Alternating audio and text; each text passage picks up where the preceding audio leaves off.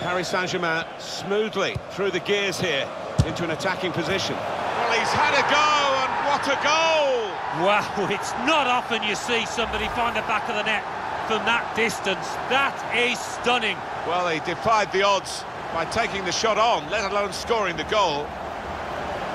The goal, wherever you look at it, it was very well taken.